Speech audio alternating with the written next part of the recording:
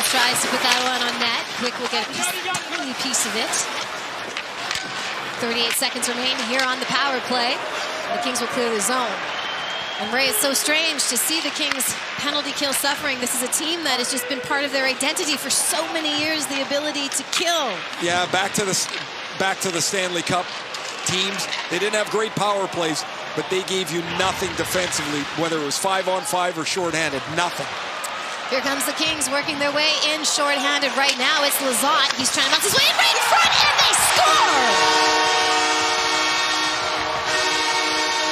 It's Trevor Moore with a shorthanded goal, and the Kings are up three to nothing.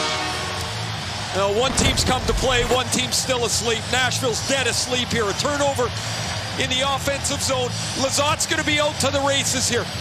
And Tolvanen's in good position, back checking, but he doesn't do anything to deny the pass coming across the middle. Mattias Ekholm is in the middle. That puck can't come across the middle. You got two Predators standing two feet apart.